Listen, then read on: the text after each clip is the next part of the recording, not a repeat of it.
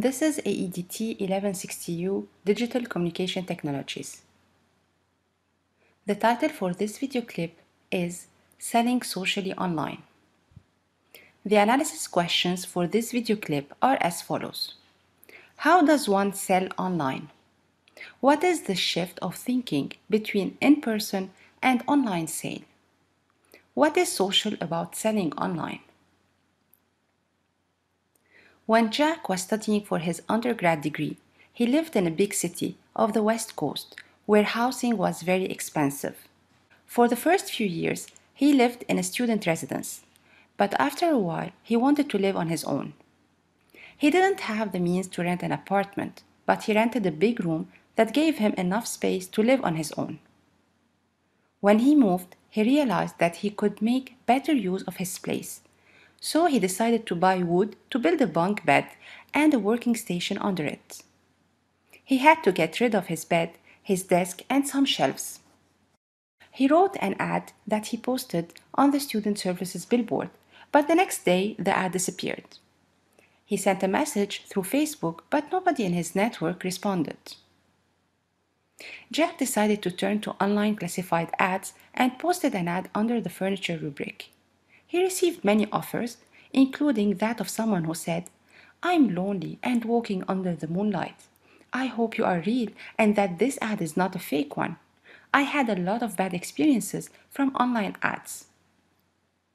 Jack didn't quite understand that ad, so he decided to ignore it, but he responded to the people who seemed to be genuinely interested. He took the time to be courteous with everyone and to follow up on their questions. Not only did he sell everything he wanted to get rid of, but when people came to see his furniture, he also sold his shoe rack, a coat hanger, a coffee maker, and some utensils he no longer needed. When people saw the bunk Jack was building for himself, they wondered if he offered the service elsewhere. This gave Jack an idea, and rather than working at minimum wage for the summer, he thought he could build some bunk beds and other rough wooden furniture made of 2x4s for people. He offered his services on Craigslist and ended up getting several interesting contracts. He was quite proud of his work and took pictures of everything he built. When the summer ended, people kept on requesting his services to build bunk beds, closets, working stations, shelves, TV stands, garden benches, etc. Jack had to focus on his courses and he thought it could be interesting to create plans and give advice to people on how to build what they needed. Jack posted the pictures in the furniture section and wrote the following message. If you want to build this, I can help you. A surprising amount of people contacted him, and through a few email exchanges and phone calls, Jack managed to get some consulting contracts. He advised people on the material to get and visited them to give them some hands-on advice as they were building their furniture.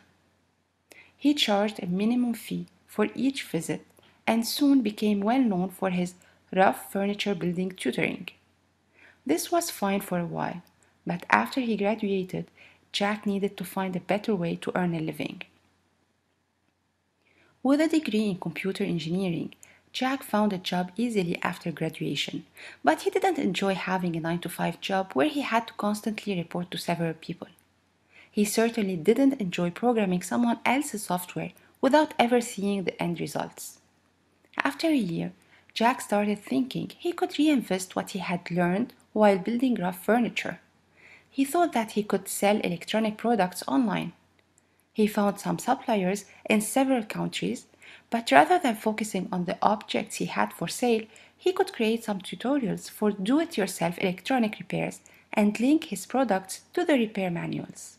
Soon, Jack's customers were emailing him with all sorts of comments and suggestions to add steps in his repair manuals.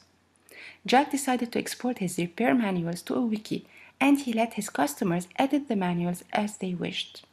The more people edited, the more they were buying products and vice versa. The synthesis questions for this video clip are as follows. What fundamental personal quality does Jack have? What did Jack learn from his student self-created job that he reinvested in his business? Why do you think this was a successful strategy?